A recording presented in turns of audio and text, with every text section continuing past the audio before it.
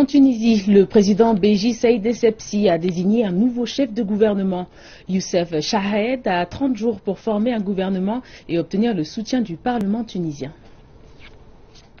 Youssef Chahed devient le plus jeune chef de gouvernement du monde arabe. Âgé de seulement 41 ans, le Tunisien sera confronté à une série de défis, à savoir une situation sécuritaire instable, mais aussi une crise économique qui a contraint son prédécesseur à quitter son poste. Cependant, Youssef Chahed estime que sa jeunesse plaide en sa faveur. Les négociations pour former un gouvernement d'unité nationale avec tous les partis politiques vont commencer bientôt. Ce sera un gouvernement composé de jeunes, car nous croyons que les jeunes peuvent faire une différence.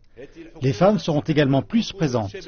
Ce gouvernement devra faire face à la réalité de la situation économique, financière et sociale en Tunisie de façon ouverte et honnête. Youssef Shah est un spécialiste des sciences agricoles de formation. En tant qu'universitaire, il a enseigné en France, au Brésil et au Japon. Sa carrière politique a commencé peu de temps après le soulèvement de 2011.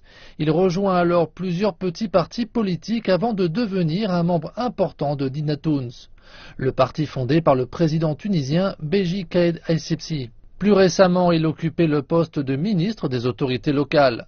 La question est maintenant de savoir si sa jeunesse triomphera sur l'expérience pour apporter la stabilité politique à cette nation d'Afrique du Nord.